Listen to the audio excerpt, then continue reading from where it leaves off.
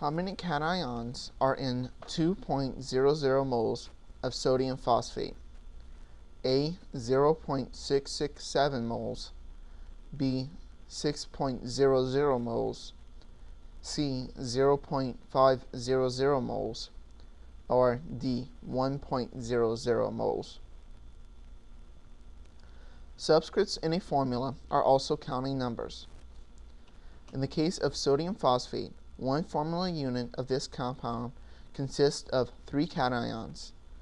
There are three sodium ions indicated in the formula, and one anion. There is one phosphate ion indicated in the formula.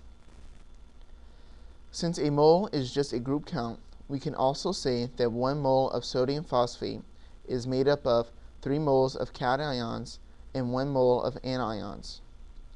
Note that the official abbreviation for mole is MOL, no E. It should be obvious that the number of formula units and number of ions are directly proportional quantities. When two quantities are directly proportional, the ratio is constant. In other words, we can say that the ratio of the number of cations to the number of formula units is equal to 3 moles of sodium ions to 1 mole of sodium phosphate units. We can rearrange this equation to solve for the moles of cations.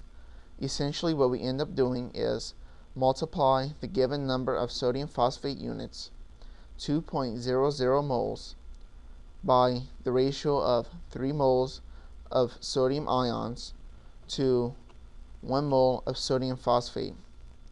The ratio serves as a conversion factor. The answer we get should be rounded off to three significant figures, since the numbers 3 and 1 in this conversion factor are exact numbers. The least precise term in this calculation is 2.00, which has three significant figures, and is equal to 6.00 moles. So the correct answer is B.